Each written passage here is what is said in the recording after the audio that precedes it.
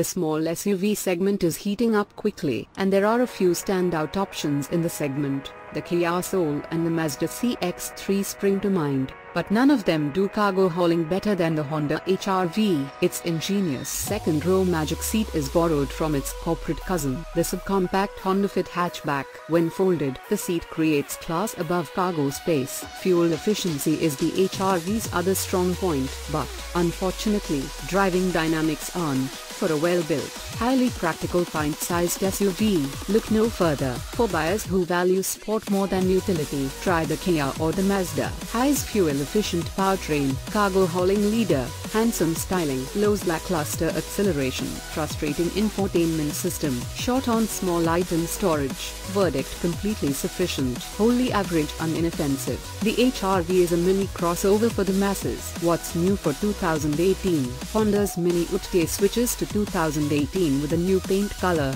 Aegean blue metallic, and a new dark colored wheel design on EX and EX-L trims. Other than that, the HR-V sees no other changes, mechanical or otherwise. This means it might be possible to pick up a 2017 on clearance without missing out on the latest whiz-bang options, since there is so little that's different between the two model years. What was new for 2017? Honda's tiniest crossover is based on its tiniest hatchback, the Fit. Honda introduced the HR-V as a 2016 model, so it is the 2017 changes.